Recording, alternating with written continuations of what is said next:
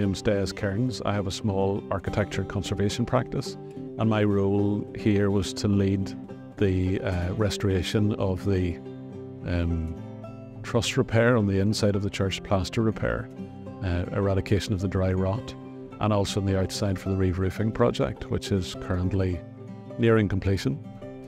The problems manifest themselves on the inside of the church initially by the discovery of dry rot in some of the timber trusses, which, being eight metres up and holding up the whole roof, uh, was a key thing to uh, try and get sorted. So uh, the church then uh, engaged me with a couple of others, and we arranged for the church to be scaffolded and for all of the trusses to be checked and inspected. And we found five of them needed to be uh, repaired and spliced. We cut out uh, rotten timbers and put that all back. So that was phase one. That highlighted the urgency of the external roof repair. Uh, so again, the uh, the church were were brave and pushing forward with that investment to try and uh, reslate the entire roof, replace all of the lead work and all of the valley gutters, and all of the rainwater goods had to be refurbished as well to make sure that it's it's uh, ready for the next hundred years. The contract was awarded to Woodville Construction for the external and internally the trusses. That work was done by Peter Michael Lane Contracts. Um, both are experienced in conservation work, and but it also requires a lot of detailing and um, specification of, of suitable products for a building like this, particularly um, trying to insulate a roof that doesn't have a flat ceiling, uh, that requires different membranes, and in this case, the, the church invested in wood fibre insulation, which is also a lot more sustainable. We did expect that uh, whenever we lifted the slates up, because we weren't changing the ceiling, we wanted to keep it intact. Meant that we had to do everything from the top, but we, we were expecting plaster to be discovered between the rafters, and there was quite a lot of that. It meant that we, we had to remove that, and uh, I think there was something like five skip loads of plaster taken off the roof. So it's a lot to get down, which thankfully they had a crane on site for, um, but also for the, the men to work on a pitch that's 52 degrees at that height to try and, and do all of that. So that's um, that was hard work. What was a surprise was some of the, whenever on the gables, how thick the walls were, but where the walls were actually built up between the rafters. So we had to reduce that to get proper lead flashings in, that sort of thing. So, but on the most part, uh, the project was fully designed before it came to site, so uh, which is good for cost control. The roof slates, because generally in Northern Ireland the roof slates are from Wales, uh, Penrhyn um, or Bangor Blue as they commonly known. So uh, all of the slates that are being replaced are all from uh, the quarries in Bangor, and they're a, a heavier Celtic slate. Um, which again will last to the longevity. But there have been some replacements over the years, but this is the first time the roof has been stripped since the building was built.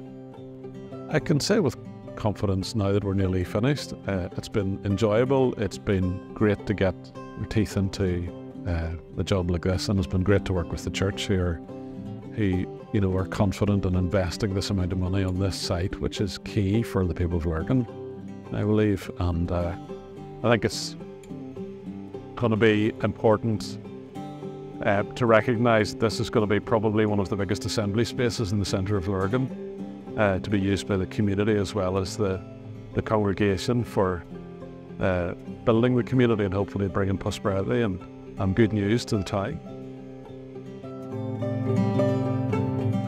We're in the midst of a, of a very large repair, uh, renovation and refurbishment project which began uh, in the early months of 2022 um, when we discovered dry rot in the church. That was quite a surprise because we had been thinking ahead to some refurbishment and reordering of the inside of the church. We were working towards that uh, for 2025, which is actually the 300th anniversary of the first church on this site. Um, but the dry rot kind of interfered with that slightly uh, and necessitated that the church be closed at that stage. But we really want, uh, at the conclusion of this process, for this building to be uh, not just for the parish community, but for the whole community. Uh, and that people can come to events, uh, not just services, but other events and access it during the week uh, to connect and to build community here in the centre of the town.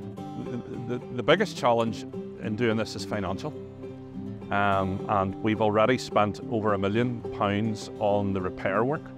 Um, but we, we've been able to, uh, to achieve that first part through hard work, um, through uh, the generosity of many people.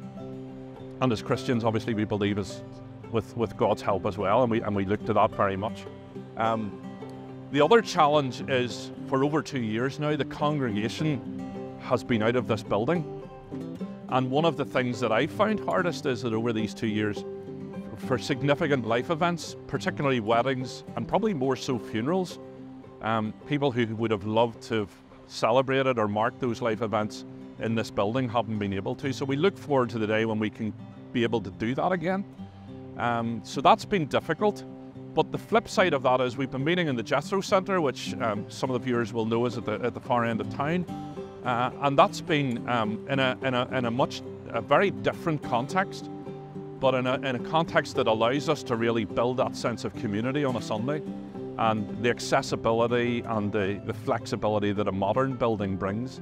I think that's helped us to see that uh, those kind of aspects, so that flexibility and that accessibility, um, done tastefully and appropriately in this building are something that we really need to aim for. And as part of that, uh, as we're developing our plans, we're working with our architect who's also working closely with HED, the Historical Environment Division, to ensure that our plans uh, reflect and uh, retain, but also enhance the beauty and the history and the legacy of the church.